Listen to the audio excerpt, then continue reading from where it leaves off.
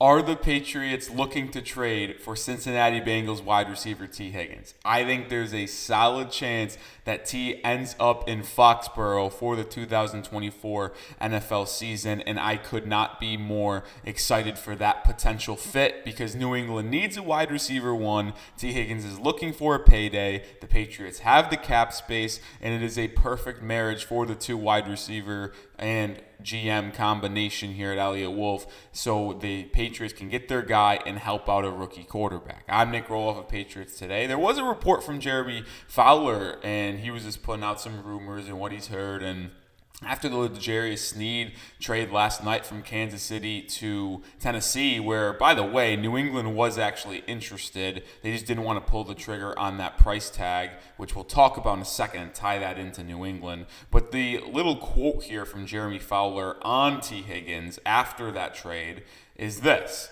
New England's been high end shopping for receiver help. Perhaps they give up a day two pick to get Higgins. I don't think Jeremy Fowler would say this just to say that, by the way. And then when you go back just 12 to 14 hours from now, when L'Jarius Sneed got traded, Adam Schefter quote tweeted that and said, L'Jarius Sneed got traded after being franchise tagged. Brian Burns got traded after being franchise tagged. Tee Higgins hopes that those two won't be the last. So to me, that is just hammering home the fact that Tee Higgins wants a payday and wants out of Cincinnati.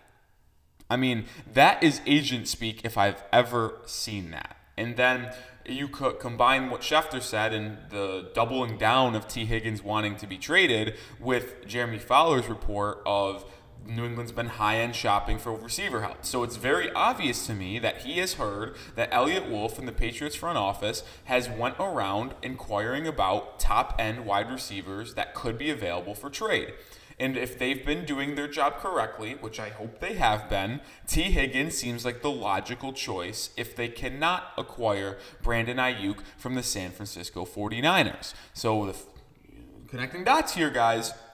New England's looking for a top end wide receiver. Higgins is looking for a trade. It makes all the sense in the world. We'll talk more about that potential fit and what a trade could possibly look like. But I want to make sure you guys are subscribed to the channel. A lot of people have new eyes on this channel after our video yesterday with the NFL draft rumors. We will have it all, whether it be the Patriots trading for a wide receiver or anything in the NFL draft of who they're eyeing with that third overall pick, or if they're looking to trade back with the Minnesota Vikings. We will have you covered on the latest NFL draft rumors surrounding the Patriots, and we'll update you when the Patriots make every single pick in the NFL draft as well. So hit that sub button.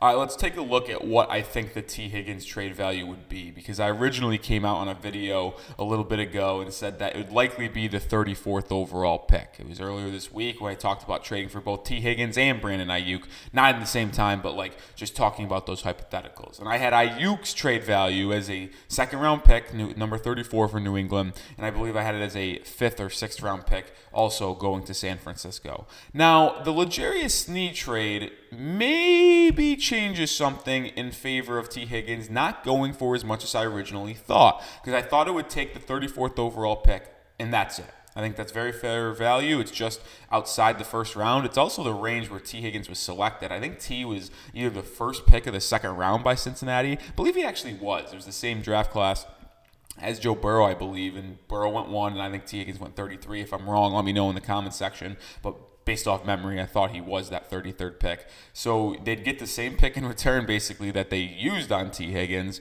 But I don't know if that's going to require anymore because if you look at the L'Jarius Sneed or deal that just happened last night, and listen, wide receivers are probably higher valued as in comparison to cornerbacks, and it makes more sense to me that it would be like that. But think about this Evan Lazar, someone I've talked about very much here after the deal was a third round pick in 2025, so not even in this draft with a 2027 pick swap, this is what happened. He said we might be seeing cornerbacks devalued a bit. Not something I expected. It's also tough getting a huge return for a player on the franchise tag. But he thinks Cincy would get more for Tee Higgins. Sneed originally being a fourth rounder, year to year Valtteri of cornerback production, strange return. But I do think it's interesting that a player of Sneed's caliber went for a 2025 third round pick and a seventh round pick swap. That is not that much. So could we see Tee Higgins potentially going instead of that 34th overall pick? Maybe it's the 2024 third round pick for New England, which is 68 in addition to a future fourth or fifth round pick. Because that is very more enticing for New England to pull the trigger on than if they just sat there and sent pick 34 because that is a very high valued pick. And then you could use pick 34 on the best player available or trade down from that and recoup more draft assets still draft the left tackle and maybe pick up more wide receivers in the draft. Because even if New England drafts a wide receiver at 34 or trades that pick for Tee Higgins I think New England should still look to add more more talent to this wide receiver room in the fourth, the fifth, the sixth round because this wide receiver room is deep. And I think you could find talent all over the place. More discussion to be had here at Patriots today, but make sure you get started with Prize Picks, the number one daily fantasy sports app in North America. That is the link is going to be in the chat and description of today's video. It's prizepicks.com slash CLNS. Use that code CLNS. You have, I think, maybe a couple hours here to get that freebie they're offering. More than half a point for Caitlin Clark, the all-time leading scorer in Division One basketball history, is getting a half a point more than it's a freebie. You could just pair up any other pick on the day or tomorrow if you'd like um, or future as well if you really want to get nuts with that pick to win up to three times your money, two more selections with it makes five times your money. It's the best reason to go start with prize picks. They have new deals for returning people who use prize picks and also new users. They are the best daily fantasy sports app to get started with. So go to prizepicks.com slash CLNS and use code CLNS to get a first deposit match up to $100. Pick more, pick less. It's that easy.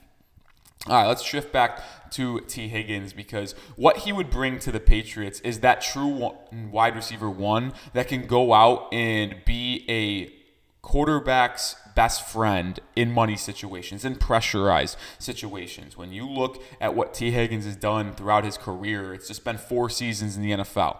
They couldn't use the fifth year option because he was a second round pick, so they had to make a decision on the franchise tag or letting him walk. They obviously tagged him, um, but he requested a trade. And his rookie year, he put up 900 yards. Like he came in the, year, the league right out of Clemson as wide receiver one for Cincinnati alongside Tyler Boyd and just absolutely flashed his potential. And then the last two seasons, not including this past one, but 21 and 22, he put up a thousand yard seasons with five or more touchdowns as well. Like Tee Higgins is some someone who consistently makes productive plays for the Bengals. And then obviously in 2023 here this past season, he only played in 12 games, had a couple injuries that lingered throughout the season and finished with I believe 800 700 yards but still got more than 5 touchdowns again and he probably would have got to a 1000 yards if he played the full season uh, that was 16 or 17 games in one of those ranges. But Tee is someone who can get open over the middle of the field, which could really benefit Drake Maye if he is the quarterback for the Patriots because he's an elite thrower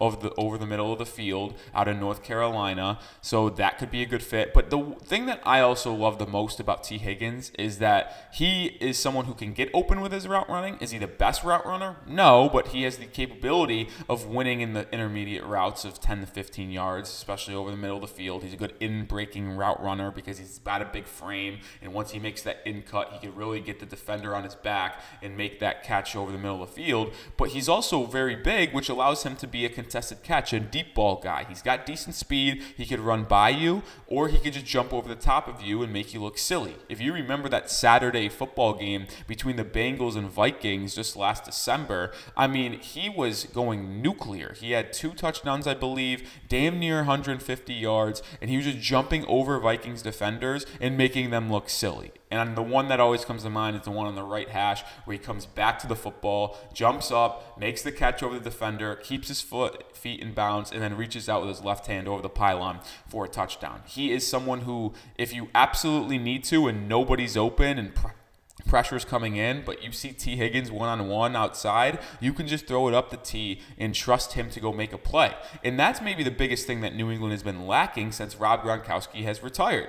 New England has not had a guy over the past three to four seasons that they can just say, okay, if no one's open, I can throw it up to this guy and trust that it will either go into his hands or it will be incomplete they thought they were getting that with DeVante Parker, but that dude is an absolute bum who actually creates no separation. He's the worst separating wide receiver over the last three seasons, and that is statistically proven. He creates the less separ- least amount of separation every single year, dead last. It's not even a joke.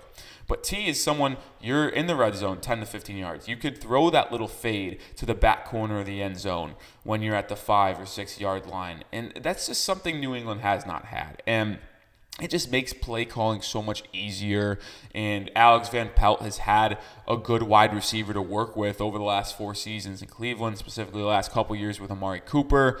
Um, and you've really seen that offense take another step here, and Cooper have big seasons. So to me, it makes all the sense in the world for New England to pull the trigger on a Tee Higgins deal. Now, if it takes number 34 overall, I'd still be willing to trade that pick. Um, but if you could do it for a 2024 third round pick and a future fifth, that would be even more ideal to keep that 34th pick, which is very valued in the NFL, open to either tra- trading down and recouping more assets in the draft or taking a high end offensive tackle at 34 or even doubling down and taking another stud wide receiver to pair up with Tee Higgins Demario Douglas, KJ Osborn, and Kendrick Bourne. All right, that'll do it for today's video. Let me know if you would trade Tee Higgins or trade for Tee Higgins. Type Y for yes, type N for no. Also, you could let me know if you'd be willing to send the 34th overall pick. I want to hear your thoughts down in the comments section. As always, make sure you subscribe to the channel um, because we are going to cover you on the latest around the New England Patriots. No matter if I'm in the office, no matter if I'm out of the office, we will have it all for you at Patriots today. So hit that sub button.